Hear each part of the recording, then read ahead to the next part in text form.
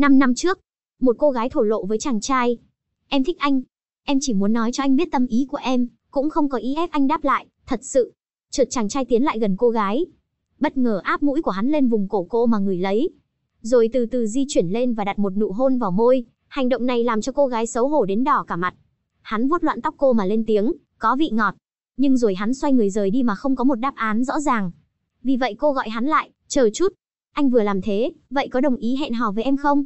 Hắn lạnh lùng hỏi, cô thực sự thích tôi. Cô gật gật đầu, ưm, ưm. Ngay cả khi tôi bị nguyền rủa ư, cô khó hiểu, nguyền rủa sao? Tình yêu có thể phá vỡ mọi lời nguyền. Hắn mỉm cười, cô thật đáng yêu.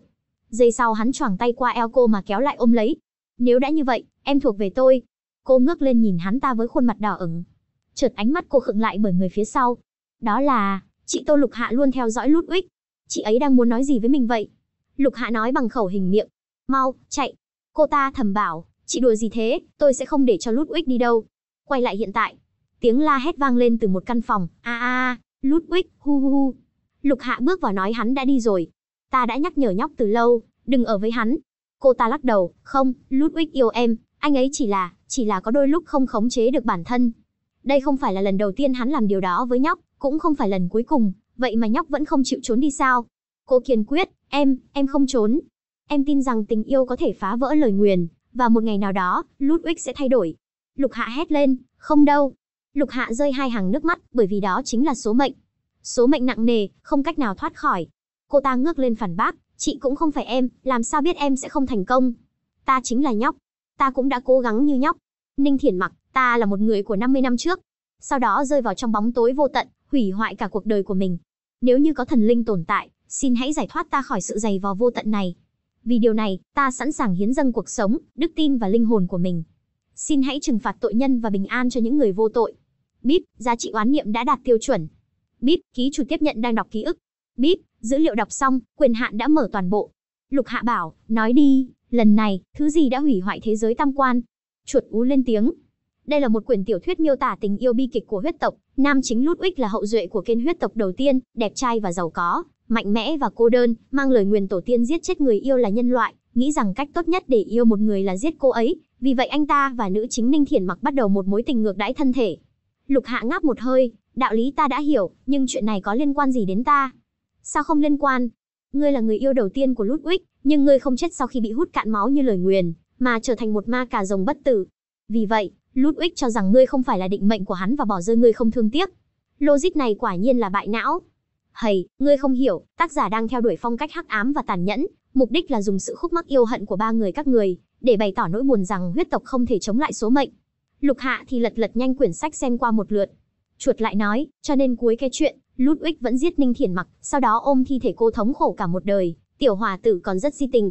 Cô úp quyển sách lại, si tình cái rắm, Năng lực bất tử của huyết tộc khiến Ludwig mất đi cảm giác sống, bởi vậy hắn ta chọn yêu những con người có cuộc sống ngắn ngủi và đạt được sự thỏa mãn bằng cách làm tổn thương họ. Người nghĩ rằng hắn bị buộc phải giết người yêu của mình một cách thê thảm, nhưng thực ra hắn yêu cái cảm giác tự ngược này đến chết đi được, thậm chí hắn chính là dựa vào loại thống khổ này để cho mình cảm giác thực sự được sống. Cho nên hắn không phải si tình, mà là am hiểu sự cảm động của bản thân. Oa, wow, sau khi ngươi nói như vậy, ta cảm thấy Ludwig thật sự rất cạn bã. Cô đặt tay lên đầu chuột, nói tóm lại, Ta ghét thuyết số mệnh nhất, số phận của ta là do ta quyết định.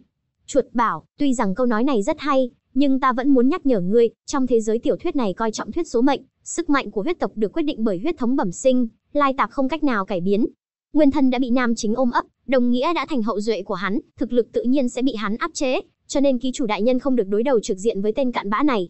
Lục Hạ mỉa mai, yên tâm đi ta không có ngốc như ngươi. Cô đứng lên bảo, đi thôi. Chúng ta đi đâu đây?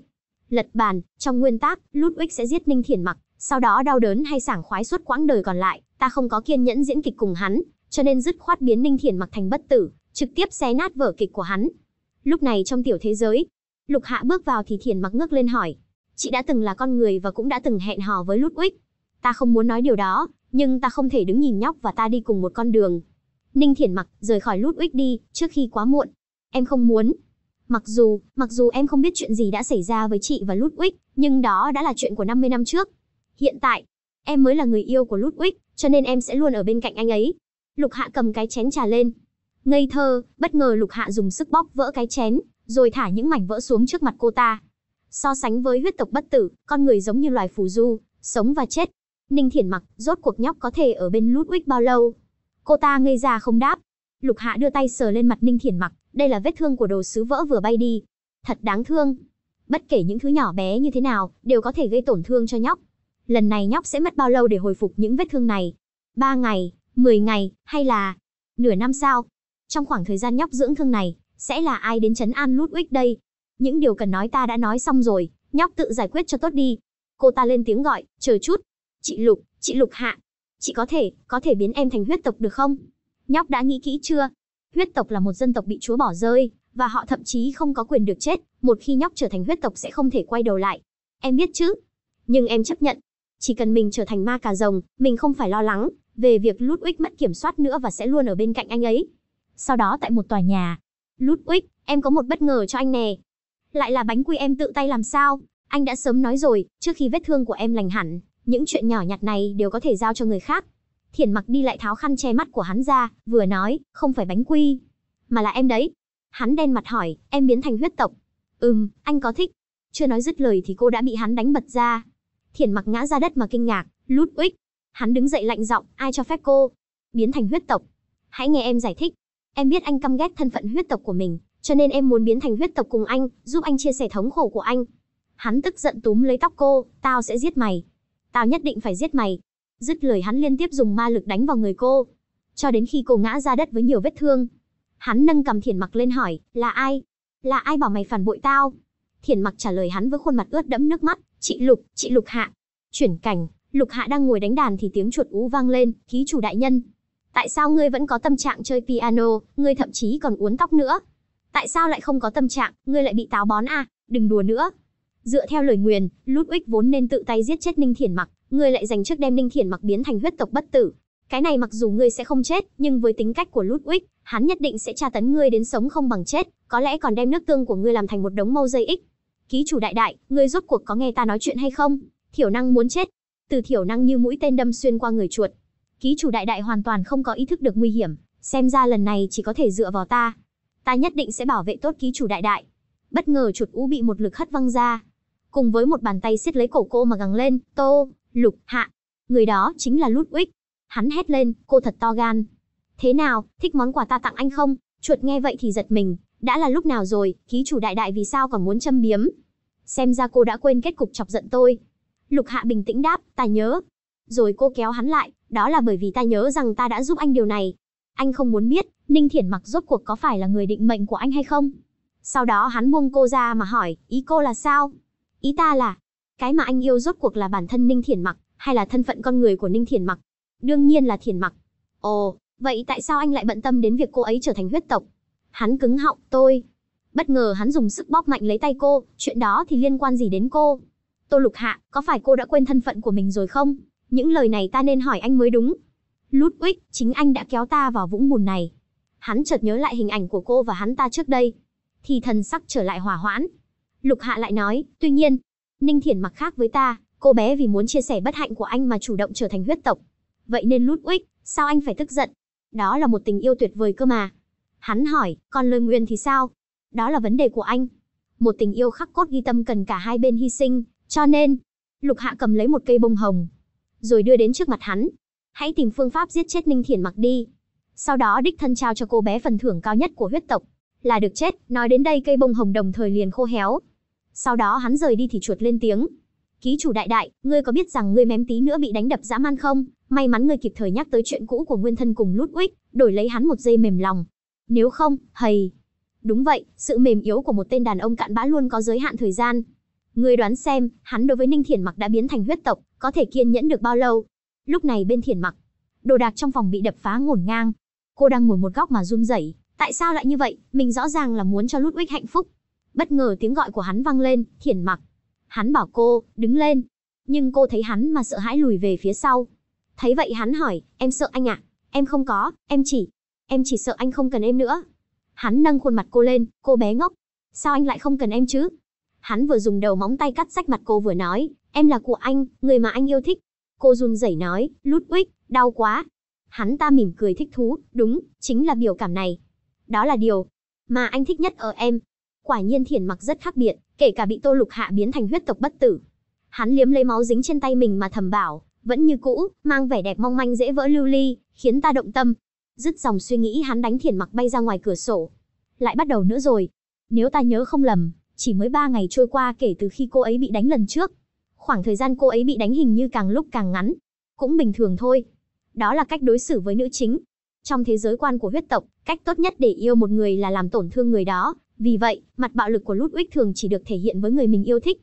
Người thấy đấy, cũng biến thành huyết tộc như nhau nhưng nguyên chủ đã không phải chịu đựng Ludwig đánh đập, mà là trực tiếp bị coi là người vô hình, chẳng quan tâm.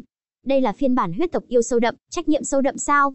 Lục Hạ đáp, xem như vậy đi. Năng lực khôi phục của huyết tộc rất mạnh, điều này có nghĩa là khoái cảm mà Ludwig nhận được từ chuyện ngược đãi Ninh Thiển mặc càng ngày càng ngắn ngủi. Vì vậy, ta phải thực hiện bước tiếp theo trước khi hắn hoàn toàn mất kiên nhẫn. Nói cho cùng, huyết tộc chẳng qua chỉ là dã thú khoác lên chiếc áo da người mà thôi. Vậy ký chủ đại nhân, người nghĩ ra chủ ý gì hay để thuần hóa một con thú sao? Không phải là một ý tưởng tốt. Nó chỉ là áp dụng cho những gì người đã học được. Chợt cô tạo ra một ngọn lửa màu đỏ trong lòng bàn tay. Chuột lo lắng, ký chủ đại nhân bình tĩnh, người bây giờ đánh không thắng tên Ludwig đâu. Chuột vừa dứt lời thì lục hạ tung chiêu, một luồng pháp lực phá tan cửa sổ bay đến vị trí Ludwig đang đứng phía dưới. Hắn tức giận nghiến răng. Tô, lục, hạ. Cô ngồi gác chân ngay ngắn mà hỏi, thế nào? Anh có tỉnh táo được chút nào chưa? Cô muốn chết. Trên tay hắn hiện ra ma lực có hình bông hồng mà lao đến. Chợt lục hạ lên tiếng hỏi, anh có yêu ta không? Hắn khựng lại mà ngạc nhiên hỏi, cái gì? Đối với huyết tộc mà nói, bạo lực chính là yêu, anh hiện tại muốn đánh ta, chẳng lẽ không phải bởi vì yêu ta sao? Hắn đấm vào tường, làm sao có thể? Hắn dí sát vào mặt cô mà nhắc nhở, đừng nói nhảm. Ồ, ngay cả khi ta có cách giảm bớt thống khổ cho anh sao? Hừ, dựa vào cô sao? Lập tức lục hạ nhét một viên màu đỏ vào miệng hắn. Phải, dựa vào ta. Hắn nuốt ực rồi nghi hoặc. Cô cho tôi ăn cái quái gì vậy? Tôi cảnh cáo cô, cô không nên vọng tưởng. Chợt hắn khựng lại, mùi gì đây? Là mùi của hoa sao? Không phải, đó là mùi vị của sự sống. Lục Hạ nghĩ rằng, sinh mệnh vô tận khiến ngũ giác của huyết tộc dần dần thoái hóa, chỉ có thể nhận ra mùi máu tươi nồng đậm nhất. Vì thế, Ludwig thích làm cho mình cảm thấy thực sự được sống bằng cách làm tổn thương người khác, mà lúc này đây, ta dùng đạo cụ giúp hắn tạm thời khôi phục ngũ giác. Nghĩ rồi cô hỏi, thế nào? Có thích món quà ta tặng anh không? Bất ngờ hắn nắm lấy tay cô, rồi kéo lại gần mà cười đáp, thích lắm. Hành động này làm Lục Hạ ngây ra một lúc. Hắn ôm chặt lấy cô mà khẳng định, thật đấy, tôi thực sự thích món quà này. Sau đó chuột ú hỏi, làm sao bây giờ? Lục Hạ đáp, không phải kế hoạch tiến hành rất thuận lợi sao? Thuận lợi chỗ nào? Thuốc tăng cường ngũ giác chỉ có thể kéo dài trong một ngày, mà chúng ta tổng cộng chỉ có 3 viên. Ngươi sẽ làm gì trong 3 ngày, Ludwig nhất định sẽ không tha cho ngươi. Thử thử, ngươi có nhầm lẫn gì không? Nhìn ta có giống một nhà từ thiện không? Không, không giống. Hôm nay ta cho Ludwig uống thuốc, không phải để giúp hắn, mà để giúp chính mình. Cái tiểu thế giới này Ludwig quá mức cường đại, nếu muốn trả thù hắn chỉ có thể công kích tinh thần. Nếu ngươi muốn kiểm soát tinh thần một người, trước tiên ngươi phải khiến hắn cảm thấy phụ thuộc vào chính mình. Và cái thứ thuốc này, chính là mồi nhử. Ngày hôm sau Ludwig đi đến tìm Lục Hạ. Tôi nói lại lần cuối, đưa thuốc đây. Ta cũng trả lời anh lần cuối. Không đưa. Hắn nghiến răng, Tô Lục Hạ. Chợt chén trà trên tay Lục Hạ vỡ thành nhiều mảnh. Rồi hắn dùng ma lực treo những mảnh vỡ lơ lửng trước mặt cô. Lục Hạ cười nhạt, ha ha, anh lại tức giận sao? Anh có thể giết ta sao? Hắn nghiến răng nghĩ ngợi. Đe dọa đối với Tô Lục Hạ không có tác dụng, mình phải đổi biện pháp khác. Hắn bảo, cô sẽ hối hận đấy. Ta lại cảm thấy, người hối hận sẽ là anh. Dứt lời lút Ludwig thu lại ma lực làm các mảnh vỡ rơi xuống đất. Chuột ú thở phào, làm ta sợ muốn chết. Trong nháy mắt ta cảm giác mình muốn tè ra quần, ký chủ đại nhân, rõ ràng trên tay chúng ta còn thuốc, ngươi vì sao không cho hắn một viên? Thử thử, ngươi đã từng thấy thuần hóa thú vật chưa? Muốn thuần phục một con mãnh thú phải làm cho nó hiểu được, cái gì là răng nanh, cái gì là móng vuốt sắc bén, tất cả mọi thứ đều vô dụng, điều duy nhất nó có thể làm là quỳ dạp dưới chân ta cầu xin tha thứ. Nhưng mà, chó cùng dứt dậu, ngươi không sợ lút uích động thủ thật sự với ngươi sao? Không đâu, cảm giác yếu đuối của kẻ yếu có thể làm cho lút uích cảm nhận được cảm giác còn tồn tại, cho nên người càng sợ hãi, càng đánh thức dục vọng ngược đãi của hắn. Không hổ là ký chủ đại thần của ta, quả nhiên đủ ác, vậy khi nào chúng ta sẽ cho hắn viên thuốc thứ hai? Kể cả khi cho dù hắn phá lệ động thủ với ta, cỗ thân thể này cũng sẽ không chết, ta cũng sẽ trở lại với sự trả thù trong tương lai, và ta cũng không có thiệt thòi. Không vội, chờ Ludwig biểu diễn xong đã. Sau đó hắn đem cả dương kho báu đến trước mặt cô để đổi lấy viên thuốc, nhưng cô không chịu trao đổi. Hắn lại dùng những lời lẽ ngon ngọt, nhưng đáp lại hắn vẫn là lời từ chối từ lục hạ. Chuột nói, cám dỗ, dụ dỗ, giả vờ đáng thương không thể không nói, Ludwig vẫn còn nhiều trò lắm. Ký chủ đại nhân, người đoán hắn đêm nay sẽ dùng thủ đoạn gì? Tối nay hắn sẽ không tới. Chuột ngạc nhiên hỏi tại sao? Bởi vì hôm nay ta đã đưa cho hắn viên thuốc thứ hai. Chuột kinh ngạc, ngươi nói cái gì? Nhưng mà hôm nay Ludwig cái gì cũng không có làm, ngươi tại sao lại? Chính vì hôm nay hắn không làm gì nên ta mới đưa thuốc cho hắn để hắn hiểu. Người thực sự nắm quyền chủ động là ta. Ngoài ra, đây coi như là quà sinh nhật ta tặng cho Ninh Thiển mặc đi.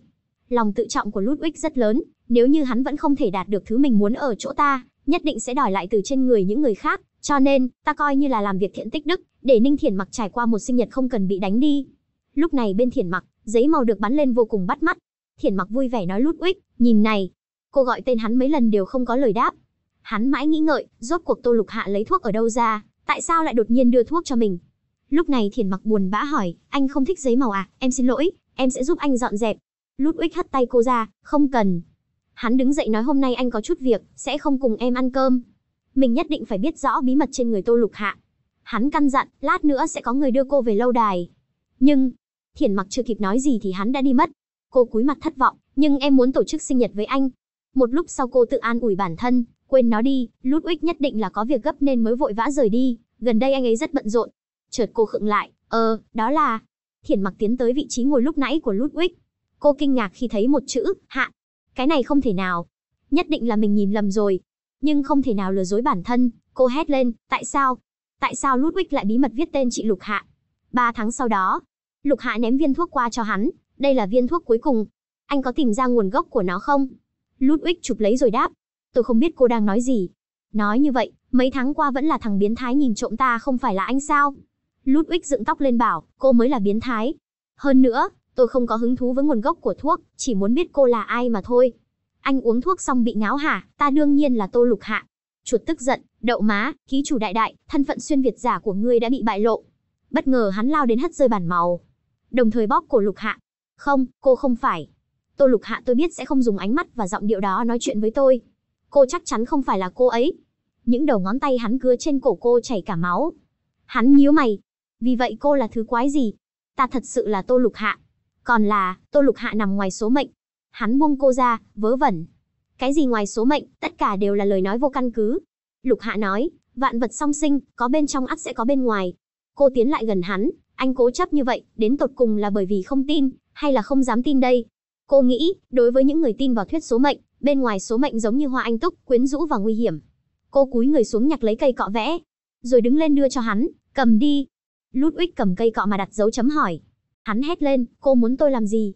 Anh phá hủy bức tranh của ta, đương nhiên phải bồi thường cho ta một bức. Nhân tiện, hãy vẽ đẹp hơn. Thế rồi hắn cũng tiến tới bức tranh để vẽ. Chuột ú lên tiếng, vừa rồi suýt nữa làm ta sợ muốn chết, đúng rồi, ký chủ đại đại, ngươi tại sao phải để cho Ludwig vẽ tranh? Kiểm tra sự vâng lời. Bây giờ có vẻ như ba tháng dạy dỗ trước của ta không uổng phí. Có thể tiến vào giai đoạn tiếp theo. Còn nữa, tại sao nguyên thân lại triệu hoán chúng ta sau khi nhìn thấy Ninh Thiển mặc bị tra tấn? Rõ ràng chuyện đó không liên quan đến cô ấy. Có lẽ là bởi vì ở trên người Ninh Thiển mặc, cô ấy nhìn thấy chính mình trước kia. Chợt có giọng nói vang lên, chị Lục Hạ, chúng ta có thể nói chuyện không? Một lúc sau hai người ngồi trong phòng. Lục Hạ lên tiếng, nói đi, nhóc định nói gì với ta? Thiển mặc bối rối bấu chặt lấy cái váy. Chị Lục, chị Lục Hạ. Cô hít vào một hơi sâu rồi mạnh dạn nói. Chị có thích Lút Ludwig không? Câu hỏi này làm Lục Hạ ngơ ra một lúc rồi đáp. Không thích. Chợt Thiển mặc hét lên, đồ dối trá, nếu chị không thích anh ấy, tại sao lại tiếp cận anh ấy hết lần này đến lần khác? Chị rõ ràng là cố ý xấu muốn chia cắt chúng ta. Chuột ú xù lông lên, này này này, cô ít ngậm máu phun người đi, rõ ràng mỗi lần đều là lút Ludwig chủ động tiếp cận ký chủ đại đại của ta. Lục Hạ mỉm cười bình tĩnh đáp, đây là lần đầu tiên ta nghe những lời ngu ngốc như vậy, hy vọng đây là lần cuối cùng. Chị cười cái gì, chẳng lẽ chị làm tiểu tam không phải là sự thật sao? Những lời buộc tội này, nhóc dám để lút Ludwig nghe không? Thiển mặc ấp úng, tôi, rồi cúi mặt không đáp. Lục Hạ chống tay đứng lên, nhóc không dám đâu, vì nhóc biết Ludwig không phải là người tốt, hắn sẽ đánh đập nhóc, thậm chí bỏ rơi nhóc. Vậy tại sao nhóc dám nói với ta những điều này? Vì nhóc biết ta là người tốt, cho dù nhóc có xúc phạm ta, ta cũng sẽ không so đo với nhóc. Cô nâng mặt cô ta lên, còn nữa, cưng bắt nạt người tốt. Có thấy quá mức không? Nói rồi lục hạ thả cô ta ra mà quay người rời đi. Ninh Thiển mặc, nhóc tự giải quyết cho tốt. Thiển mặc nói với theo, còn chị thì sao? Chị có dám để Ludwig thấy bộ mặt này của chị không? Lục hạ dõng giặt đáp, dám. Thật ra, ta sẽ cho hắn thấy khía cạnh tàn bạo hơn của ta. Tối đến, ký chủ đại đại, nam chính cùng nữ chính một người nguyện đánh một người nguyện chịu, ngươi làm gì phải xen vào việc của người khác, tại sao một mực phải chia rẽ bọn họ chứ? Bởi vì cảnh nguyện đánh nguyện chịu này được xây dựng trên cơ sở thông tin không đúng, Ninh Thiển mặc cũng không phải trời sinh run rẩy, con bé sở dĩ nhiều lần chịu đựng lút Ludwig bạo ngược, là bởi vì con bé cho rằng bạo lực chỉ là tạm thời, một ngày nào đó lút Ludwig sẽ bị con bé cảm hóa, buông dao mổ xuống, cùng mình happy ending. Nhưng ở cuối câu chuyện, Ludwig đã giết cô ấy. Đúng vậy, những gì ta làm đến bây giờ, chính là phơi bày cho con bé bộ mặt thật sự của huyết tộc. Nếu đến lúc đó con bé vẫn một lòng khóa chặt với Ludwig, như vậy ta sẽ bỏ tình tiết giúp người xuống, tôn trọng, chúc phúc. Chuột nghe vậy thì chắp tay khấn, Phật độ hữu duyên nhân. Hôm sau, Ludwig sau khi hoàn thành xong bức tranh hắn đem đến cho cô. Đây là bức tranh cô yêu cầu hôm trước. Lục Hạ chăm chú nhìn chằm chằm, rồi nhắm mắt, hừm, được rồi. Vẻ mặt này của cô là sao, không hài lòng. Màu sắc không chính xác, phối màu bậy bạ. Cấu trúc thì... Si, bức tranh này lấy đâu ra cấu trúc? Tất nhiên, mọi người đều có quyền yêu nghệ thuật, vì vậy ta sẽ không cười anh. Này, cô chỉ học nghệ thuật tổng thể có vài năm, khẩu khí cũng không nhỏ. Lục Hạ nắm lấy loạn tóc hắn, anh không hiểu sao. Rồi dùng móng tay cắt rách mặt hắn, học nghệ thuật không tính dài ngắn, mà nó nằm ở chỗ thiên phú. Dứt lời cô bắn những giọt máu đỏ lên bức tranh, làm cho bức tranh thêm rực rỡ hơn, có sức sống hơn. Đó là tài năng của ta. Hắn đi tới gần bức tranh mà nhìn nó một cách sững sờ. Ký chủ đại đại, lần sau ngươi có thể không cần một lời không hợp liền động thủ không? Áp lực của ta thật sự rất lớn đấy. Động thủ cái gì? Ngươi tin vào thuyết số mệnh phần lớn là nghệ sĩ, Ludwig lại là một người yêu thích nghệ thuật cuồng nhiệt, cho nên ta mới có thể dùng tranh làm mồi nhử, thăm dò độ khoan dung của hắn đối với việc mình bị thương, trước mắt xem ra hiệu quả không tệ. Ta rõ ràng đang thảo luận về nghệ thuật với hắn, nhìn xem, đứa trẻ này cười vui biết bao. Ludwig lúc này chống tay lên cầm mà cảm thán, đẹp quá. Sáng hôm sau, Thiền mặc đem đồ ăn sáng vào, thì thấy Ludwig đã ngủ gục trên bàn với đống màu sắc. Thật là, cho dù huyết tộc không bị bệnh cũng không thể như vậy mà ngủ. Thật sự là không có biện pháp với anh ấy. Mình nên tìm cho anh ấy một cái áo để đắp thêm đi. Nói rồi cô quay nhìn trái nhìn phải một lượt. Chợt cô nhìn thấy gì đó. Hửm, đây có phải là bức tranh mà Ludwig đã vẽ suốt đêm không? Mình nhìn lén một cái chắc là không sao đâu nhỉ. Thiển mặc liền kéo tấm vải che xuống. Đúng lúc Ludwig tỉnh dậy. Chuyện gì đây, Thiển mặc, cô làm cái quái gì ở đó? Những lời như vậy, em nên hỏi anh đấy. Cô chỉ vào bức tranh, tại sao ở đây anh lại có bức chân dung của Tô Lục Hạ? Hắn lạnh giọng, ai cho phép cô động vào đồ của tôi? Thiển mặc có chút sợ hãi những cơn ghen tuông không nhẫn nhịn được, cô hất đồ trên bàn xuống mà hét lên, vậy là anh thừa nhận mình sưu tầm chân dung của Tô Lục Hạ. Tôi chỉ là tiện tay vẽ một bức tranh mà thôi, cô không cần phải cố tình gây sự. Anh nhốt mình trong thư phòng cả đêm chỉ vì vẽ chân dung nữ nhân khác, còn nói tôi cố tình gây sự sao? Tôi không muốn cãi nhau với cô, dù sao thì mọi chuyện cũng không như cô nghĩ. Thiển mặc tháo bức tranh xuống, được, vậy tôi đi tìm Tô Lục Hạ. Tôi muốn hỏi chị ta, có biết cái gì gọi là liêm sĩ, cái gì gọi là qua điển lý hạ hay không? Bất ngờ mâm đồ ăn sáng bay cái vút xoẹt qua đầu thiền mặc. Mày đã điên đủ chưa? Mày là người yêu của tao, nhưng điều đó không có nghĩa là tao sẽ tha thứ cho mày đi khóc lóc với những người không liên quan. Thiền mặc lắc đầu, tôi không có. Em chỉ sợ, Ludwig đã từng hẹn hò với Tô Lục Hạ, bây giờ lại rõ ràng là nhìn chị ấy theo một cách khác. Mình sợ rằng một ngày nào đó anh ấy sẽ từ bỏ mình, chọn Tô Lục Hạ. Ludwig đi ra đến cửa thì quay lại hăm dọa, lần sau mà còn vậy, mày tự mình biết kết cục. Thiển mặc run rẩy khóc lóc. Hu hu, em thật sự, thật sự không có ý định làm điều xấu, em chỉ là, em chỉ muốn bảo vệ tình yêu của mình mà thôi. Sau đó Thiển mặc đi đến tìm Lục Hạ. Lục Hạ ngoắc ngủ than thở, đã trễ thế này rồi mà còn. Ta hy vọng nhóc đang có việc gì gấp. Thiển mặc run sợ lên tiếng, chị Lục Hạ, em và Ludwig đã cãi nhau. Lục Hạ hỏi, vậy thì sao? Em biết, em biết em đã xúc phạm chị trước đây, nhưng trong lâu đài này, em chỉ có một người bạn là chị thôi, thế nên, chị có thể đi dạo với em không? Không cần phải đi xa đâu, chị chỉ cần đi dạo sau lâu đài với em là được. Làm ơn, làm ơn mà. Lục Hạ cười xòa, nhóc đang nói gì vậy? Giữa chị em tốt không có gì là không thể đòi hỏi, chờ chút nha để ta đi lấy áo khoác. Chuột lắc đầu, hầy, diễn xuất đau hết cả mắt như vậy, còn không biết xấu hổ đến trước mặt chủ ký chủ đại đại trình diễn, được rồi, ký chủ của ta cực kỳ nghiện diễn xuất, cô sẽ bị dạy cách ứng xử. Một lúc sau bọn họ đi ra ngoài thì Lục Hạ lên tiếng, nói đi. Sao tối nay nhóc và Ludwig cãi nhau? Chỉ là, vài chuyện nhỏ. Ừm, Ludwig tính tình rất thất thường, một chút chuyện nhỏ cũng có thể chọc cho hắn giận dữ. Nhóc đã bao giờ nghe đến huyết ngục chưa? Thiển mặc giật mình, hả? Huyết tộc không thể chết, thế nên Ludwig đặc biệt sáng tạo ra huyết ngục, để trừng phạt những huyết tộc phạm sai lầm. Những huyết tộc bị giam cầm trong huyết ngục sẽ bị ngọn lửa thiêu đốt mọi lúc. Sống không bằng chết. Nhóc nói ta xem, liệu Ludwig, người đã phát minh ra hình phạt này có tàn nhẫn không? Thiển mặc im lặng chỉ biết cắn rứt. Nói đi cũng phải nói lại, thật ra ta chưa từng tận mắt nhìn thấy huyết ngục. Thiển mặc nghe vậy thì vui vẻ hỏi, thật sao? Chợt cô ta vội vàng bào chữa, cái đó, ý của em là, dù sao, em cũng chưa từng thấy huyết ngục. Lục hạ nghi ngờ, thật sao, ta còn tưởng rằng Ludwig đã sớm giao huyết ngục cho nhóc rồi chứ. Có vẻ như hắn ta không yêu nhóc nhiều như ta nghĩ. Thiển mặc kích động nói lớn, anh ấy yêu em. Lút Ludwig đã giao huyết ngục cho em, Cho nên, Thiển mặc rút ra thẻ chìa khóa huyết ngục, và bước lùi lại. Sau đó nhấn nút, trong lòng thầm bảo, xin lỗi chị. Chợt từ dưới đất mọc lên vô số sợi xúc tu, nó quấn lấy khắp người lục hạ. Cô hỏi, đây có phải là phần thưởng của ta cho việc đi dạo với nhóc? Thiển mặc khóc lóc, tôi xin lỗi, chị lục hạ, tôi thật sự không muốn làm tổn thương chị, nhưng, nhưng tôi không còn cách nào khác. Chị biết không, Ludwig từng viết tên chị trên bàn, và dành cả đêm để vẽ chân dung của chị trong phòng làm việc. Anh ấy quan tâm đến chị rất nhiều, tôi không. Vì vậy, nhóc muốn đưa ta vào huyết ngục. Vĩnh viễn không được siêu sinh. Không phải, tôi chỉ muốn hai người tách ra một thời gian thôi, tôi sẽ thả chị ra ngay khi Ludwig không còn quan tâm đến chị nữa, thật sự đấy. Vậy nhóc định giải thích sự mất tích của ta với Ludwig thế nào? Tôi sẽ nói cho anh ấy biết, chị đi du lịch một mình để giải sầu. Thiển mặc quỳ xuống, chị Lục Hạ. Xin hãy giúp tôi lần này, huyết tộc sẽ không chết, nhưng tình yêu của tôi. Thì ra nhóc vẫn chưa phát hiện ra. Tình yêu của nhóc đã chết từ lâu rồi. Hả, chị đang nói nhảm, tôi và Ludwig chúng tôi rõ ràng. Lục Hạ chen ngang, rõ ràng là yêu thương. Nếu thật sự yêu thương, ta sẽ không còn đứng đây nữa. Cách mà huyết tộc thể hiện tình yêu là bạo lực, thế nhưng, đã bao lâu rồi Ludwig không đánh cưng? Thậm chí hôm nay cũng cãi nhau với hắn, hắn ta cũng không tự mình đánh cưng. Cô nghĩ thầm, với năng lực của Ludwig, nếu hắn thực sự đánh Ninh Thiển Mặc, chắc chắn sẽ để lại dấu vết trên người con bé. Thiển Mặc ấp úng, đó, đó là bởi vì, đó là vì hắn ta không có yêu cưng, không còn yêu nữa, cho nên ngay cả chạm vào cưng cũng khinh thường, cũng cảm thấy ghê tởm. Thiển Mặc hét lên, đừng nói nữa, tôi sẽ không nghe chị chia rẽ. Tôi, tôi, đồ đâu mất rồi? Cưng đang tìm cái này à? Thiển Mặc kinh ngạc, cô ta lấy cắp nó từ mình khi nào? Chuột cười đắc ý, he, danh hiệu rượu chảo thử thử của người ta cũng không phải là vô dụng. Lục Hạ từ từ thoát khỏi các xúc tu mà lên tiếng, cưng có biết tại sao ta lại chấp nhận đi cùng cưng đến ngọn núi phía sau không? Thứ nhất là vì ta đang chán, ta muốn nhìn xem cưng có thể vì tình yêu làm đến trình độ nào. Thứ hai, là vì cái này. Chìa khóa huyết ngục trong tay Lục Hạ phát sáng lên. Cảm ơn cưng đã chủ động ship đến tận nhà. Nếu không, ta thật sự không biết mình phải mất bao lâu mới có thể lấy được chìa khóa huyết ngục mà Ludwig dùng chính sinh mạng của hắn đúc thành. Tuy rằng một phần sinh mệnh lực này chỉ có thể ngắn ngủi đem thực lực của ta tăng lên tới trình độ của Ludwig, nhưng cũng đủ để ta dạy cho hắn một bài học sâu sắc. Lục Hạ bốn tay cái tách, để đền đáp ta sẽ cho cưng một ghế VIP đặc biệt. Những xúc tu của huyết ngục bắt đầu quấn lấy Thiền Mặc. Tô Lục Hạ, đồ đàn bà điên, sao cô dám? Lục Hạ ra dấu im lặng, suýt. Nguyên tắc đầu tiên của việc xem kịch là giữ im lặng.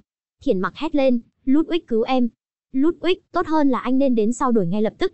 Bởi vì, bạn gái nhỏ của anh trượt chân, tự ném mình vào huyết ngục. Dứt lời cô ta từ từ bị huyết ngục nuốt chửng. Đúng lúc này Ludwig xuất hiện. Người đâu rồi? Bất ngờ một tiếng keng vang lên. Lục Hạ bay đến chém về phía hắn, phản xạ cũng nhanh đấy. Lục Hạ áp sát mặt hắn, đáng tiếc. Lập tức ảo ảnh biến mất. Lục Hạ từ phía sau đâm một nhát xuyên qua người Ludwig. Cô lùi lại rút thanh kiếm ra. Bây giờ, trò chơi bắt đầu. Hai người bay lên không trung mà giao chiến. Ludwig chém về phía Lục Hạ nhưng cô đã nhanh như chớp mà né sang một bên. Đồng thời phản kích chém vào bả vai hắn một nhát. Được thế xông lên tiếp tục chém vào ngực hắn một nhát nữa. Lục Hạ xoay người tung cú đá uy lực.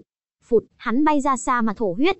Chật chật, mặc dù Ludwig là người mạnh nhất huyết tộc, nhưng do bối cảnh trong tiểu thuyết nên kinh nghiệm thực chiến của hắn rất ít, không đủ để so với ký chủ đại đại của ta, người đã chiến đấu rất nhiều với những tên cặn bã trước đây. Lục Hạ tiến tới chỗ hắn. Cô dùng mũi kiếm nâng cầm hắn lên, quả nhiên. Trông cái bộ dạng này của anh quả thật nhìn rất thuận mắt. Hắn nghiến răng căm tức, Tô, Lục, Hạ. Ây, anh tức giận sao? Tại sao thế? Rõ ràng tất cả những điều này là anh đã dạy cho ta nha. 48 năm trước, cô lo sợ chạy trốn dưới trời mưa nặng hạt. Hình như anh ta còn chưa đuổi theo.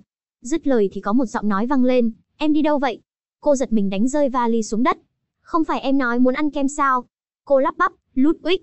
Gì đây, em không muốn ăn nữa sao? Hắn thả cây kem xuống, như vậy cũng tốt. Một đứa trẻ không vâng lời không xứng đáng được ăn kem. Hắn lao tới mà kéo áo ngoài cô ra để lộ vô số vết thương trên người. Cô van xin, làm ơn, xin hãy tha cho tôi. Tại sao phải cầu xin tha thứ? Anh đã nói, đó là cách anh yêu em. Trở về hiện tại, Lục Hạ kéo mặt hắn lên, suốt thời gian đó, tất cả là do anh tạo ra vết thương trên người người khác. Rồi ban cho họ tình yêu quái gỡ. Cô hét lên, bây giờ, đến phiên anh, dứt lời Lục Hạ cắn phập vào cổ hắn mà hút lấy. Thấy thế nào? Thích tôi dành cho anh cái gọi là tình yêu này không? Có cảm thấy, cảm giác yếu đuối này của bản thân rất thân thuộc không? Nói nhảm, tôi làm sao có thể, làm sao có thể giống như những nhân loại đó? Sao lại không thể? Nhìn lại chính mình bây giờ đi. Anh bị thương giống như một con người, chảy máu như một con người, cảm nhận nỗi đau như một con người. Thừa nhận đi, Ludwig. Trong khoảnh khắc này, anh chính là con người. Tôi, con người sao? Sau đó trong lâu đài, Ludwig, làm ơn mở cửa ra đi, em thực sự lo lắng cho vết thương của anh, làm ơn để em xem. Tiếng lút Ludwig đáp, cút đi. Em biết anh đang trách em không nên lén lút đi tìm Tô Lục Hạ. Nhưng mà, nhưng em thật sự không biết mọi chuyện sẽ biến thành như vậy. Nếu em sớm biết anh, sẽ bị con đàn bà ác độc Tô Lục Hạ kia tổn thương thành như vậy, em thà chết cũng sẽ không để anh tới cứu em, thật sự đấy. Chợt phía sau cô ta vang lên giọng cười phụt. Xin lỗi, đã lâu rồi ta không nghe được lời thoại kiểu này, cho nên nhất thời không nhịn được, còn cái kia, nhóc cứ tiếp tục đi. Thiển mặc nhíu mày hỏi, cô làm gì ở đây? Nhóc nghĩ ta sẽ làm gì? Nếu cô còn muốn làm hại Ludwig, thì hãy dẫm lên xác tôi trước. Thứ nhất, huyết tộc sẽ không chết. Vì vậy nhóc không có cơ hội để cho tôi dẫm lên. Lục Hạ đưa hai ngón tay lên, một đóm phép lực hiện ra. Thứ hai, cái mồm nhóc ồn ào quá. Lục Hạ điểm vào chán ả ta. Lập tức ả ta ngã xuống, dầm. Ký chủ đại đại thật thô lỗ. Người cũng muốn nếm một chút mê muội thuật sao? Lục Hạ đi đến cánh cửa gọi, Ludwig, mở cửa ra. Trong phòng vang lên một tiếng, cút. Thật là, ta vốn muốn lịch sự một chút, đã như vậy, ta đây đổi cách nói khác là được, hoặc là anh chủ động mở cửa. Hay là, ta sẽ giúp anh. Bất ngờ hắn mở cửa ra, Tô Lục Hạ, cô thật sự nghĩ tôi sợ cô sao? Cô chạm ngón tay lên ngực hắn, anh lớn đến từng này rồi, ngay cả một vết thương cũng không biết rửa sao. Hắn đan vào những ngón tay cô. Tô, Lục, Hạ. Lục Hạ lên tiếng, buông ra. Sức mạnh từ chiếc chìa khóa huyết ngục bị hấp thụ nhiều nhất là một ngày, và cô nghĩ rằng cô vẫn có thể giống như đêm qua sao. Dứt lời Lục Hạ lên gối vào thân dưới của hắn. Hắn ôm lấy thằng nhỏ mà run rẩy bẩy. Cô bảo, quy tắc mới. Không được chạm vào bất cứ bộ phận nào trên cơ thể ta cho đến khi ta cho phép. Còn bây giờ, đưa ta về phòng anh. Cô nói cái gì? Một lúc sau hắn thầm suy tư, tại sao sự tình lại biến thành như vậy, rõ ràng mình mạnh hơn Tô Lục Hạ. Tại sao mình lại vô thức nghe theo mệnh lệnh của cô ta? Kẻ yếu sẽ khuất phục kẻ mạnh, đó là bản năng của con người. Thế nhưng, mạnh cũng không phải chỉ có một loại hình thức biểu hiện, mạnh về mặt tâm lý cũng có lực uy hiếp. Ludwig luôn là người chi phối trong một mối quan hệ, cho nên, ta cố ý tốn thời gian chu toàn với hắn, để cho hắn dần dần hình thành thói quen bị khiêu khích, thậm chí là bị tổn thương. Khi hắn dần dần thích ứng với loại biến hóa tinh tế này, ta lập tức mượn sức mạnh của chìa khóa máu, từ chính diện đánh bại hắn. Nhưng, Ludwig biết sức mạnh của ngươi chỉ là tạm thời, chẳng lẽ hắn ta sẽ không trả thù? Lục Hạ đáp, hắn ta sẽ như vậy. Chuột ngơ ngác, vậy sao? Ngươi cho rằng ta hôm nay vội vàng tới tìm hắn là vì cái gì? Ludwig lần đầu tiên bị người khác đánh bại, nội tâm đang trong trạng thái mơ mịt và tự hoài nghi. Đương nhiên là vì rèn sắt khi còn nóng, mà điều ta phải làm, chính là ở thời điểm tâm lý hắn yếu ớt nhất, thêm một lần nữa đánh tan hắn, triệt để xác lập quan hệ chủ tớ. Nói đến đây cô quay qua thì thấy hắn đang nhìn mình. Cô hỏi, có chuyện gì? Hắn đứng dậy phàn nàn, tại sao tôi phải băng bó vết thương như một con người? Vì ta muốn thấy anh làm thế, không được sao? Lục Hạ đứng dậy đi đến kế bên hắn. Hắn thì thầm, rắc rối chết đi được. Lục Hạ với lấy băng vải, quên chuyện đó đi. Hôm nay tâm tình của ta rất tốt, cho nên giúp anh một lần. Cô nghĩ rằng, áp bức mù quáng sẽ dẫn đến phản kháng, cho nên, thưởng cho hắn kẹo đúng lúc là rất cần thiết. Một lúc sau cô bảo, được rồi đó. Nhìn cái nút thắt hình cái nơ cô cười nói, rất đáng yêu. Ludwig chỉ tay vào nó, đáng yêu sao? Lục Hạ không đáp mà quay người rời đi. Trên môi hắn nhếch lên thầm cười, đáng yêu. Vài ngày sau, Ludwig đứng trước gương nhìn ngắm, rồi hắn kéo cổ áo ra. Bất ngờ hắn nắm lấy con dao, tự tay rạch vào ngực mình. Hắn thất vọng nói, không giống. Rõ ràng là cùng một vị trí, cùng một hình dạng vết thương, tại sao ta không thể cảm nhận được sự run rẩy mà Tô Lục hạ cho ta? Đúng lúc này tiếng gõ cửa vang lên. Thiền mặc mở cửa ra thì lên tiếng, lút Ludwig, em nghĩ. Giây sau cô ta hốt hoảng mà chạy vào. Anh lại bị thương rồi, đây lại là con đàn bà độc ác Tô Lục hạ kia làm sao? Thật sự là quá đáng, anh chờ một chút em đi lấy thuốc cho anh. Hắn kéo cô lại, khoan đã. Em hãy đâm anh. Cái gì? Anh yêu cầu em đâm anh. Thiển mặc đánh rơi con dao. Sao có thể chứ? Làm thế nào em có thể làm tổn thương anh? Em là người yêu anh nhất trên thế giới. Hắn nhíu mày, chật. Hắn tóm lấy tay cô làm cho cô ta sợ hãi. Không, đừng nút uých. Hắn giơ tay thiển mặc lên cao. Rồi đấm mạnh vào ngực mình. Anh sao rồi, có đau không? Quả nhiên vẫn không được. Cái gì không được? Hắn thầm nghĩ, cảm giác bị thương lần này cũng khác với lần đó của Tô Lục Hạ. Nghĩ rồi hắn xoay người rời đi. Thiển mặc đứng ngây ra mà ủ rũ, tại sao em càng ngày càng không hiểu anh? Sau đó hắn đến tìm Lục Hạ. Vừa vào hắn đã lớn tiếng, Tô Lục Hạ, tôi. Lục Hạ lạnh giọng, lút uích. Không mời mà vào cũng không phải là thói quen tốt. Anh biết phải làm gì mà. Hắn cắn răng nhẫn nhịn, rồi quay trở ra bên ngoài mà gõ cửa, cốc cốc cốc. Lục Hạ cười khoái chí bảo, mời vào. Nói đi, tìm ta có chuyện gì? Tôi muốn cô đánh tôi lần nữa. Mình phải xác nhận xem, liệu chỉ có Tô Lục Hạ mới có thể mang lại cho mình cảm giác run rẩy sau khi bị thương hay không? Chuột nghe vậy thì ngạc nhiên, phụt. Ta có bị ảo giác không? Đứa bé này là bị đánh thành khổ dâm sao? Lục Hạ đáp, ta từ chối. Tại sao chứ, lúc trước không phải cô ấy rất thích động thủ với ta sao? Cô cười đáp, bởi vì ta không muốn. Lục Hạ tiến lại chỉ tay vào người hắn, đừng quên, trong mối quan hệ này, ta là người nắm quyền. Ludwig thì cứ bước lùi lại mà quay mặt tránh né. Lục Hạ lại nói, ngoài ra, lần sau nhớ thay quần áo trước khi ra ngoài nhé. Lúc này hắn mới sực nhớ, quần áo sao? Hắn vội kéo áo lại mà cáu gắt, ai cho cô xem? Được được được, ta không nhìn, thật là, rõ ràng là anh đổi phong bại tục, sao lại không biết xấu hổ trách ta có mắt? Hắn thầm cảm nhận, cuối cùng nó cũng xuất hiện, cảm giác run rẩy đó xuất phát từ sâu thẳm tâm hồn mình.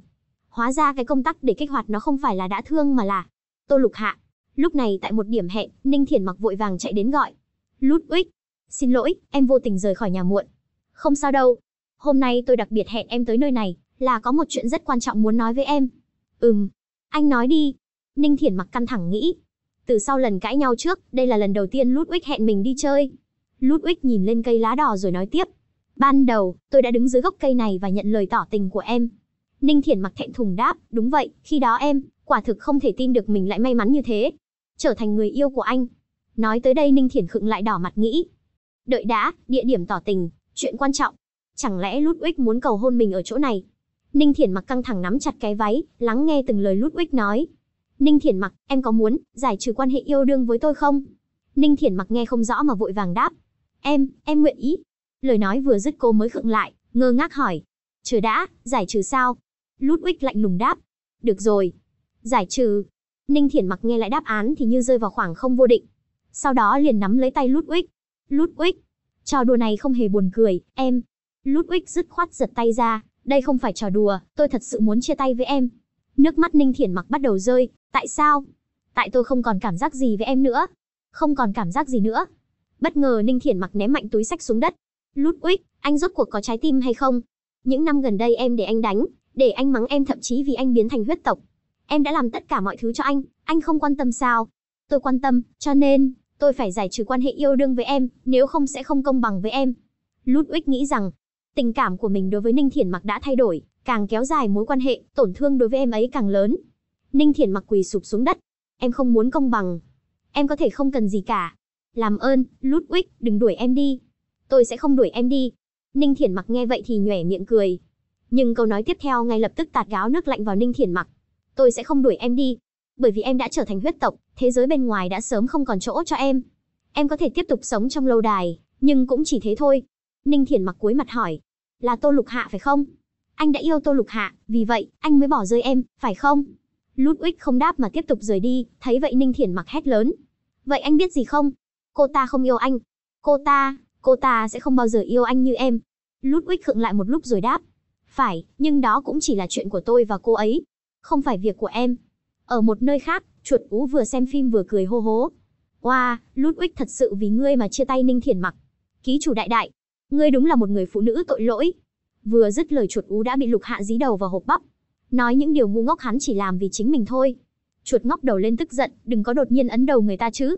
Lục hạ lại nói, bất kể là đối với nguyên thân, đối với Ninh Thiển mặc, hay là đối với ta, Ludwig là một kẻ tham lam, và điều quan trọng là, hắn ta có thể lấy được lợi ích nhiều hơn từ ai, giá trị động tâm. Ha, thật sự là nam nhân tự đại đến mức khiến người ta khó chịu. Chuột ú nói, sao?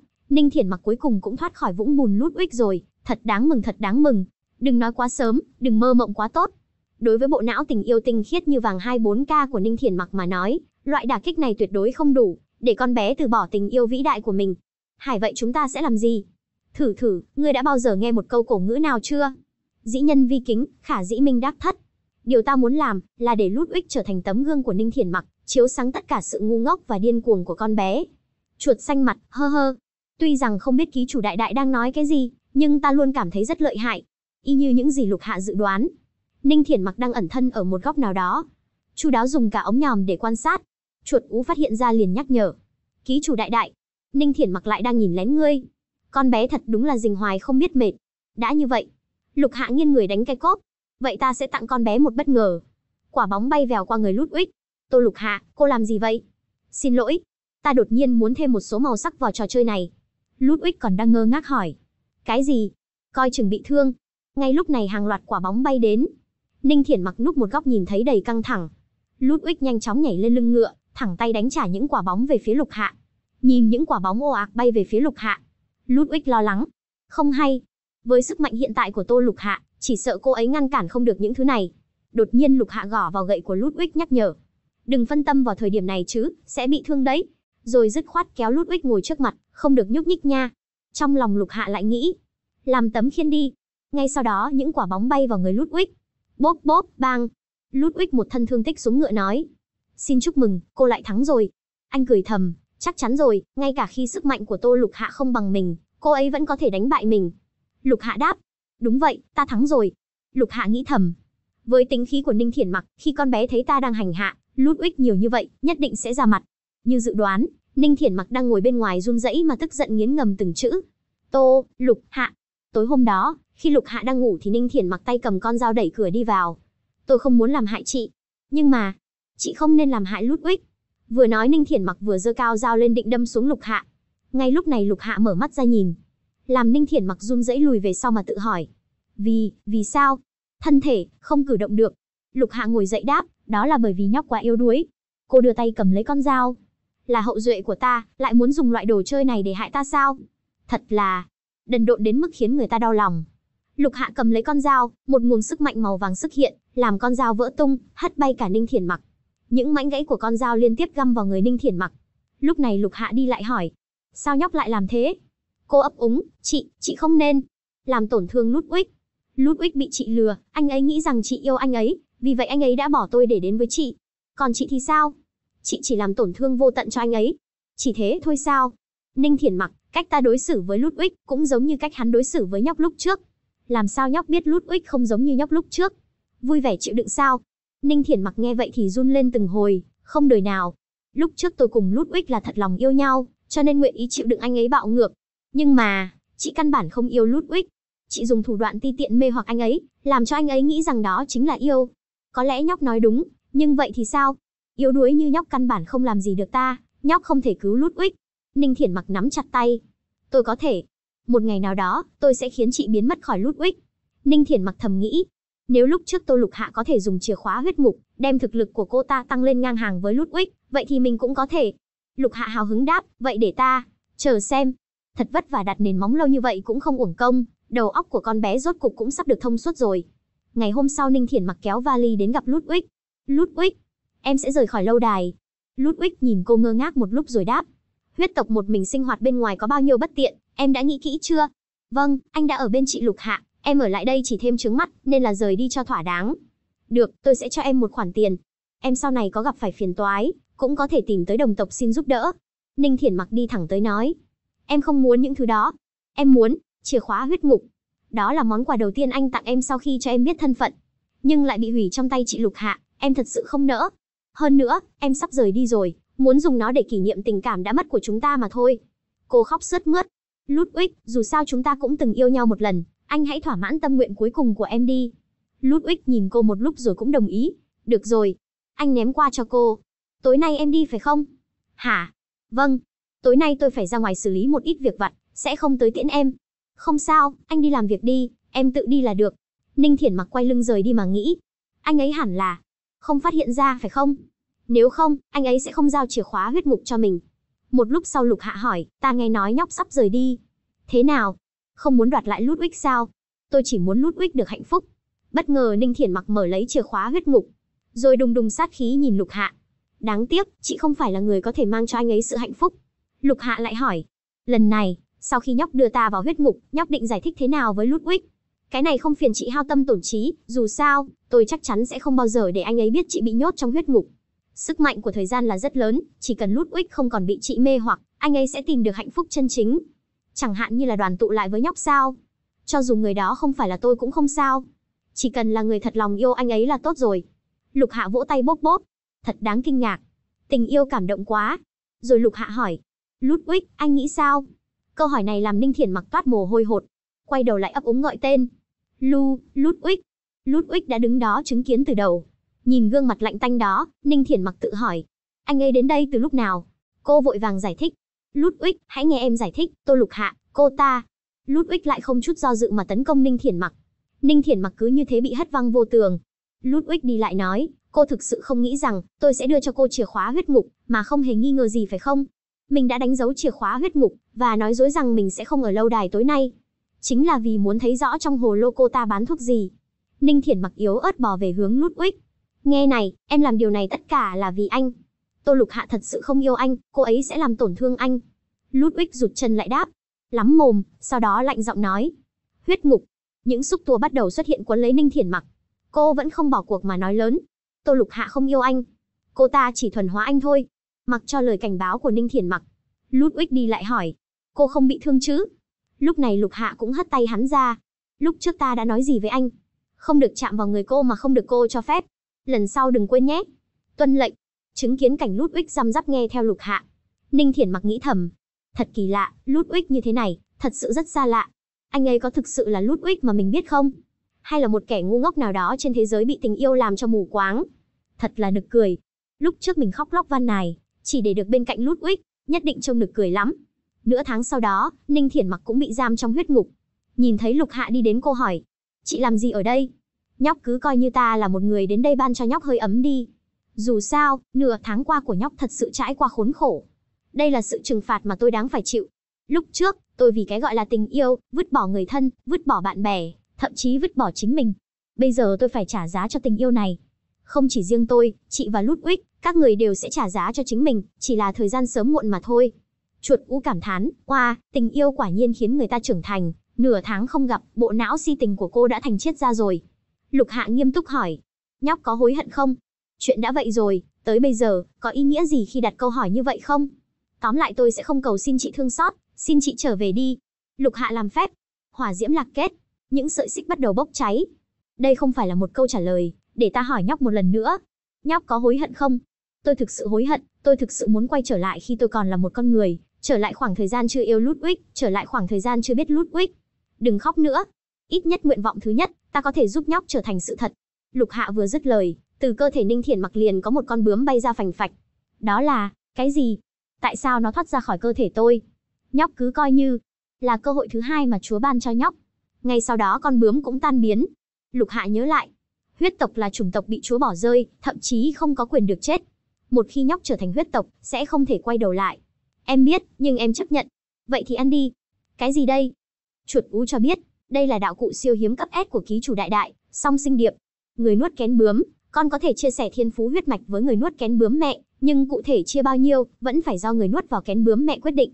Vì quá nhiều lời nên chuột ú liền bị lục hạ bún bay 800 mét. Sao vậy? Nhóc muốn biến thành huyết tộc, ngay cả uống thuốc cũng không dám sao. Ninh Thiển mặc khi đó không chút do dự mà chụp lấy nó. Không đời nào. Rồi nhanh chóng cho vào miệng. Tốt lắm, bây giờ, chúng ta có thể tiến hành bước tiếp theo. Quay lại hiện tại lục hạ nói. Chúc mừng nhóc, một lần nữa trở lại làm nhân loại, hãy theo đuổi cuộc sống mà nhóc muốn. Sau đó lục hạ tự mình tiễn Ninh Thiển mặc rời đi. Chị lục hạ, Chị Lục Hạ, chị rõ ràng ghét huyết tộc như vậy, vì sao không tự biến mình trở về làm nhân loại? Vì đã quá muộn. Ninh Thiển mặc nghe thì ngạc nhiên nghĩ. Đúng vậy, nếu chị Lục Hạ có biện pháp tự cứu mình, lúc trước cũng sẽ không lộ ra vẻ mặt tuyệt vọng như vậy. Ninh Thiển mặc thả lấy vali, chạy tới ôm lấy Lục Hạ. Chị Lục Hạ, đừng yêu Ludwig, hắn không xứng với chị. Không ai xứng với chị đâu. Cô vỗ về, cô bé ngốc. Nhìn Ninh Thiển mặc rời đi, chuột ú bảo. Thành thật mà nói, cho tới bây giờ, ta vẫn không thể tin được ngươi thật sự buông tha Ninh Thiển mặc. Ngươi không phải vẫn luôn ghét tình yêu não tàn sao? Cô bé đã bị trừng phạt đủ rồi, nạn nhân của sự không hoàn hảo cũng là nạn nhân, chỉ là cô bé cùng nguyên thân giống nhau, một người đáng thương bị lừa bởi một kẻ cặn bã. Chuột ú liền lật cuốn sách, một nghìn kiểu tra tấn cổ đại mà đáp. Ký chủ đại đại nói rất đúng, ta sẽ giúp ngươi tìm cách đối phó với Ludwig. Không cần đâu. Đối với Ludwig hiện tại mà nói, biện pháp trả thù tàn nhẫn nhất không phải là tra tấn, mà là nhắm mắt làm, ngơ. Hai tháng sau, Ludwig tức giận ném bó hoa xuống đất. Tô Lục Hạ, Tại sao hai tháng nay em lại trốn tránh anh? Tại sao, em không chịu nhìn anh sao? Lý do không phải rất rõ ràng sao? Ta, không yêu anh.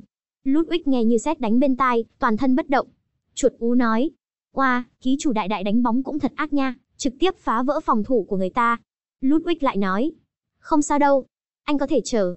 Huyết tộc có sinh mệnh vô hạn, anh sẽ luôn đợi đến ngày em yêu anh. Lục hạ lạnh lùng đáp. Mơ vọng thì vẫn là mơ mộng, đừng tùy tiện dính lên người của ta.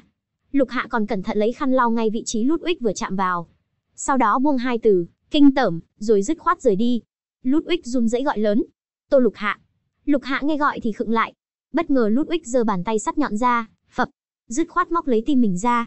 Đây là lời xin lỗi anh gửi đến em, từ nay về sau, anh sẽ tuân theo tất cả các quy tắc của em, vì vậy, hãy cho anh một cơ hội. Có được không? Chuột ú chứng kiến cảnh này thì thở dài, hầy, nói chuyện thì cứ nói, tự hại mình làm gì? Ngươi nghĩ rằng làm như vậy, có thể khiến cho ký chủ đại đại mềm lòng sao? Lục Hạ lạnh lùng đáp. Không phải chuyện của ta. Nói rồi cô dứt khoát rời khỏi đó. Một thời gian sau, từ trong phòng chuột ú nói. Ký chủ đại đại, Ludwig vẫn chưa rời đi. Chật chật, cho dù ngươi không nói chuyện với hắn ta một năm, hắn vẫn nhất định mỗi ngày xuất hiện trong bán kính 100 mét của ngươi, đúng là si tình. Đó không phải là si tình. Lục Hạ mặc một bộ lộng lẫy bước ra nói, thay vào đó là giám sát. Mặc kệ trên mặt hắn có giả bộ đáng thương thế nào, dòng máu huyết tộc kêu hãnh tự phụ, khắc sâu trong xương tủy của Ludwig. Cùng thói quen đem con mồi mà hắn nhìn chúng nhốt ở trước mắt mình. Ký chủ đại đại, sao ngươi đột nhiên lại ăn mặc như vậy? Cô nháy mắt với nó. Không đẹp sao? Đẹp thì đẹp đấy, chỉ là có chút dọa người. Nói đi, ngươi muốn làm gì? Không có gì. Ta chỉ là muốn cho thế giới này một nghi thức, kết thúc long trọng mà thôi. Hả? Sau đó Lục Hạ mở cửa ra gọi. Ludwig. Hắn vừa ngước đầu lên nhìn thì cô hỏi. Muốn khiêu vũ không? Cái gì? Ta nói, anh muốn khiêu vũ với ta không? Ludwig cúi người đáp. Rất vinh hạnh. Hắn thầm vui mừng. Mình biết mà. Một ngày nào đó, cô ấy sẽ rung động trước sự chân thành của mình. Mặc dù ta không biết Ludwig đang mong đợi điều gì, nhưng ta dám lấy măng trúc một năm của ta cam đoan, hắn suy nghĩ nhiều lắm. Sau đó một bản nhạc vang lên, cả hai tay trong tay nhảy theo điệu nhạc. When we sway and turn round and round and round, it's like the first time, just one more chance, hôn me tai, and keep me warm. Được một lúc lục hạ mở lời. Ludwig, dường như anh chưa bao giờ hỏi ta, tại sao ta lại thả Ninh Thiển mặc đi. Chỉ là một người không quan trọng, em muốn xử lý cô ấy thế nào cũng được. Anh chỉ cần em ở bên cạnh anh là được rồi. Vậy sao? Cho dù, cô bé đã trở lại làm nhân loại. Ludwig nghe vậy thì giật mình, buông tay lục hạ ra. Cái gì? Ludwig, anh có nhớ lời nguyền mà anh mang trên mình không? Anh sẽ yêu con người, rồi, tự tay giết cô ấy. Lục hạ vừa nói vừa quay lưng rời đi. Có vẻ như, điệu nhảy này không cần phải tiếp tục nữa. Ludwig vội vào ôm cô lại. Không, trên thế giới này có rất nhiều nhân loại, nhưng chỉ có một tô lục hạ. Trước khi gặp em, anh luôn tin vào số mệnh. Và sau khi gặp em, anh phát hiện ra, em mới là số mệnh của anh. Dứt lời Ludwig kéo lục hạ lại, khóa chặt lấy môi của cô. Một lúc sau lục hạ đẩy ra nói, cho dù, anh biết ta không yêu anh mà. Ừm. Ninh Thiển mặc từng nói, em đối với anh chỉ thuần hóa. Cô ấy nói đúng đấy. Vậy thì, xin em thuần hóa tôi cả đời đi. Đem người biết rõ không yêu mình nhốt ở bên cạnh, anh thật đúng là tham lam. Đúng vậy, hắn liên tục làm những cử chỉ thân mật với lục hạ. Huyết tộc vốn là chủng tộc tham lam, em không biết sao, anh hiện tại may mắn biết bao, huyết tộc có được sinh mệnh vô tận, điều này có nghĩa là em sẽ không bao giờ, không bao giờ trốn thoát được. Lục Hạ nhếch mép cười. Vậy sao? Ta cũng không cho là như vậy. Lục Hạ vừa dứt lời thì cơ thể cô dần tan biến. Ludwig hốt hoảng. Tô Lục Hạ, chuyện gì đang xảy ra vậy? Ham muốn ích kỷ của anh đã hủy hoại cuộc đời hai cô gái. Ta đã giải cứu cuộc đời của một người trước đó. Bây giờ, đã đến lúc ta phải cứu cuộc đời của người còn lại. Nguyên thân dùng linh hồn cùng không gian chính làm giao dịch, để đổi lấy cơ hội trốn thoát khỏi Ludwig, ta không thể để cô ấy thất vọng. Nhìn thấy cảnh này Ludwig hét lớn. Không, đừng. Anh cầu xin em. Không, đừng. Đừng tàn nhẫn với anh. Lục Hạ cứ như thế tan biến trong vòng tay của hắn. Ludwig gào lên trong vô vọng. Tô Lục Hạ. Ba năm sau, tại Trung Quốc. Ninh Thiển mặc đang dạo phố thì nhìn thấy một hình dáng quen thuộc mà gọi. Ludwig. Hắn bần thần đi giữa dòng người. Nghe gọi thì quay lại đáp. Là em à, sao anh lại đến Trung Quốc? Tìm ai đó? Anh đang tìm ai vậy? Tô Lục Hạ. Ừ, vậy chị Lục Hạ, có nói cho anh biết đi đâu tìm chị ấy không? Chị Lục Hạ thật sự rời khỏi Ludwig rồi sao? Ludwig hào hứng đáp. Đây là trò chơi giữa tôi và cô ấy. Chỉ cần tôi tìm được cô ấy, cô ấy sẽ bên cạnh tôi mãi mãi. Vậy thì, chúc may mắn. Tôi còn có hẹn, tôi đi trước đây. Ninh Thiển mặc thầm nghĩ. Là ảo giác của mình sao? Luôn cảm thấy tình trạng tinh thần của Ludwig có gì đó không ổn. Ừ, tạm biệt, tôi sẽ gặp may. Trong lúc Ludwig giơ tay lên chào, đã để lộ những vết thương chi chít trên tay. Ninh Thiển mặc hốt hoảng hỏi. Ludwig, tay anh. Em nói cái này à? Đây là món quà cô ấy để lại cho tôi. Trước đây cô ấy đã để lại rất nhiều vết thương trên người tôi. Đáng tiếc sức mạnh hồi phục của huyết tộc quá mạnh, chúng biến mất rất nhanh. Vừa nói Ludwig vừa lấy tay cứa vào da khiến bản thân bị thương. Ninh Thiển mặc thấy vậy thì kinh hãi muôn phần. Ludwig lại hả hê với điều đó. Những thứ này đều là tôi dựa theo trí nhớ rồi bắt trước làm. Em xem, có phải giống với lúc trước như đúc không? Ninh Thiển mặc lùi lại nghĩ. Bị điên rồi. Ludwig, anh còn muốn tìm chị Lục Hạ bao lâu nữa? Bao lâu? Có lẽ, cho đến khi thế giới này kết thúc. Nói rồi Ludwig rời đi.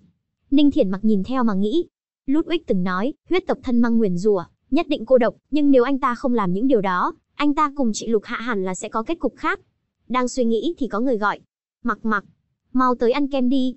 Anh đã mua vị dâu tây yêu thích của em đó. Nhìn thấy người đó Ninh Thiển mặc hớn hở đáp. Vâng. Không phải bảo em đợi anh ở cửa hàng sao? Vừa vặn gặp một người quen, thuận miệng hàn huyên hai câu, khẩu vị này của anh ăn có ngon không? Em nếm thử đi. Ninh Thiển mặc thử miếng kem mà lòng tràn đầy hạnh phúc. Dù sao thì mình cũng đã thoát khỏi vũng bùn đó rồi. Chị Lục Hạ, em hy vọng chị có thể nhận được phước lành. Nhìn thấy kết quả trái ngược của hai nhân vật chính, chuột u có chút xót thương. Ai, nếu đem ra so sánh, Ludwig có vẻ rất đáng thương. Nhân quả luân hồi, báo ứng xác đáng, không có gì đáng thương. Mà ngươi lấy đâu ra nhiều nước mắt như vậy? Chuột u xù lông lên cải. Ta gọi đó là đa cảm. Ký chủ đại đại của ta, quả nhiên là người phụ nữ tuyệt tình. Ngay lập tức chuột bị lục hạ kéo giãn hai cái má. Bớt nhiều chuyện. Nhanh chóng kết toán tiểu thế giới này, đã kéo dài rất lâu rồi. a đau quá, ta biết rồi. Lúc này hệ thống cũng kêu lên tiếng bíp bíp. Huyết tộc thế giới hoàn thành 100% đánh giá, SS, đúng rồi, ký chủ đại đại, lần sau vẫn là ít dùng cách trốn thoát bằng tự sát đi. Tuy rằng hệ thống có thể chỉ hoãn kết toán, nhưng một ký chủ sau khi chết không cách nào quay lại tiểu thế giới, trong trường hợp đối tượng nhiệm vụ không làm theo kế hoạch, nhiệm vụ của ngươi sẽ thất bại. Cô tự tin đáp. Đùa gì thế? Kế hoạch của ta sẽ không có chuyện thất bại đâu. Nói quá to, cẩn thận bị lật xe đấy, ký chủ đại đại. Video xin tạm dừng tại đây, hẹn gặp lại các bạn vào phần sau, trong lúc chờ đợi phần mới của bộ truyện này. Các bạn hãy vào kênh để xem những bộ truyện khác hay cũng không kém để giết thời gian nhé. Đừng quên đăng ký kênh và ấn chuông thông báo để không bỏ lỡ video tiếp theo. Cảm ơn các bạn, chúc các bạn một ngày vui vẻ và tràn đầy năng lượng.